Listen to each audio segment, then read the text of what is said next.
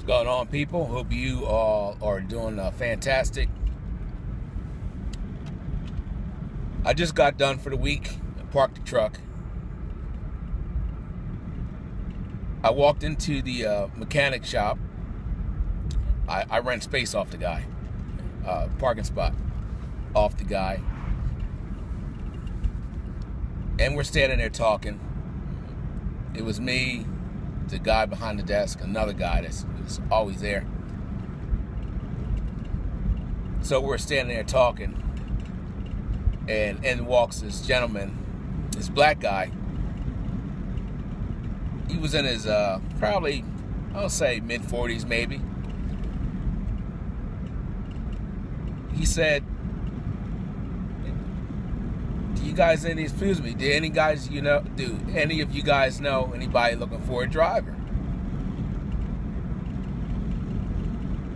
Guy behind the desk. Oh yeah, well, this guy, the guy that has a, that truck in the shop, he was looking for somebody, but he found somebody, but he has a couple other trucks.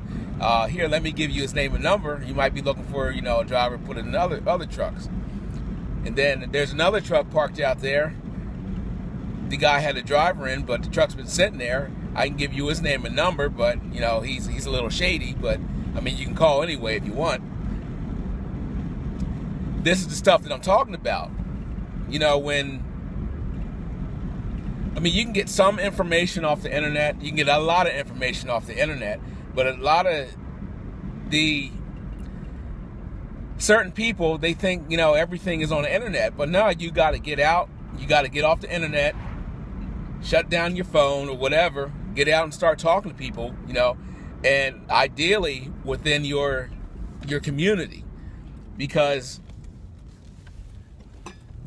they don't post up on the internet you know it's, a lot of stuff is just word of mouth hey i'm you know such and such you know is doing this or such and such needs this done. Oh yeah, such and such does that. Let me give you his name and number, or so on and so forth. So that's just a this is a short video just of, of what just happened. Um, so get off the internet. I mean, get, do your due diligence for from the information on the internet, but get off the internet. Go talk to that guy down the road that's been trucking forever. I'm sure he'll be glad to talk to you if you approach him correctly. You know what I'm saying?